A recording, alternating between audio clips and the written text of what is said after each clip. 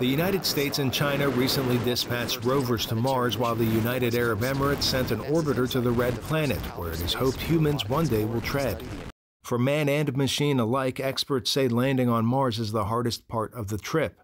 The period from hitting the atmosphere to getting to the surface has been characterized, depending on the mission, as either the six minutes of terror or the seven minutes of terror.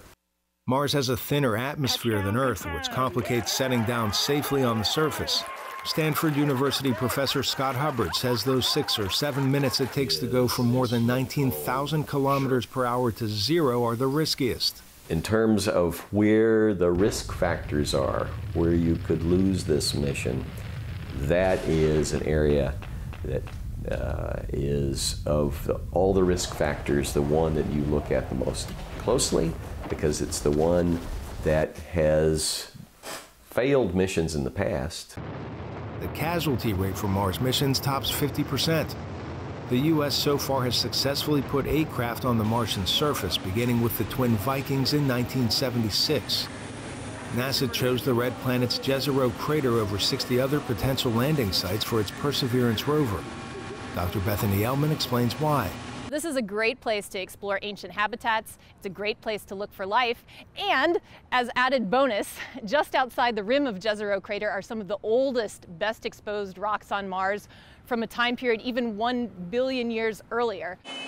The craft should reach Mars in February, along with the Chinese and UAE missions after seven months in transit over 480 million kilometers.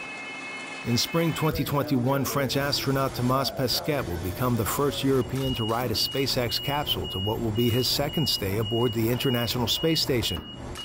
People from all over the world, different countries, have put together their resources for peaceful purposes, for science, for research, for progress. And it's been going on for 20 years, and, and, and it's an amazing success. Finally, this week, Virgin Galactic unveiled the cabin of its Spaceship Two commercial craft. It has 12 windows, and Virgin says they designed the cabin for an out of seat weightlessness experience. The company says final tests are ongoing. Arash Arabasadi, VOA News, Washington.